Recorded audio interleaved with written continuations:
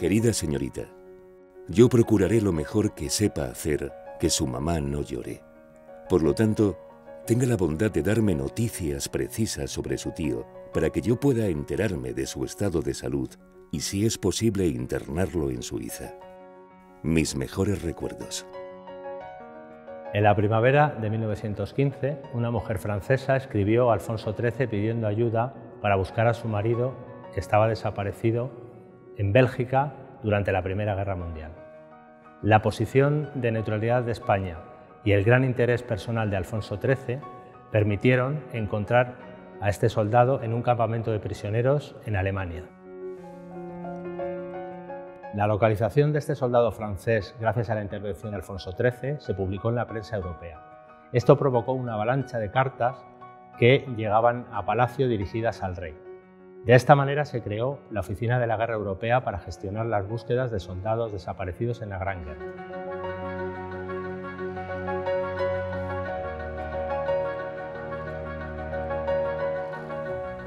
Estamos en el archivo abierto, el archivo que contiene los 200.000 expedientes que constituyen el fondo documental más importante sobre la Primera Guerra Mundial que se conserva en los archivos españoles. Estas 200.000 cartas han sido escritas al rey por los verdaderos protagonistas de la guerra, que son los combatientes y sus familias.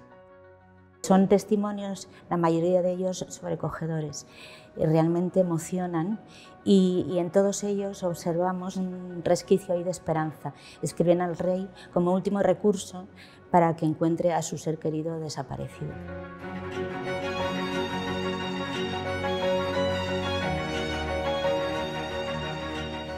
La labor humanitaria llevada a cabo por Alfonso XIII que damos a conocer en esta exposición generó la llegada de una importante colección de fotografía bélica que por primera vez se da a conocer en todo su esplendor.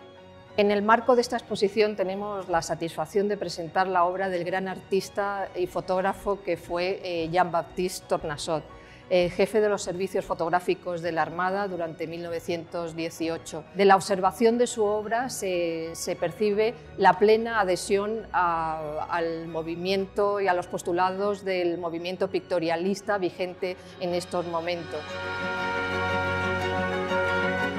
Patrimonio Nacional, en colaboración con la Fundación Banco Santander, les invitan a visitar esta exposición, muy diferente a otras que se han visto en Palacio, y donde se exhiben fotografías y documentos inéditos relativos a la Primera Guerra Mundial.